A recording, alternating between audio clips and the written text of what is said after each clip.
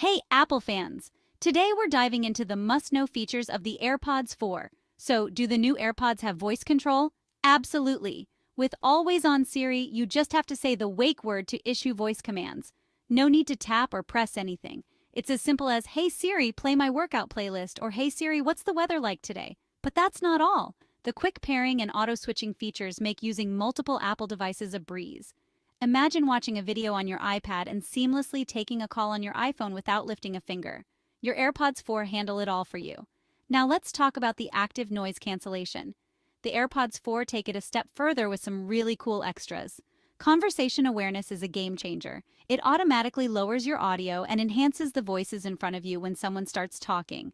No more awkwardly taking out an earbud to have a quick chat. And then there's adaptive audio.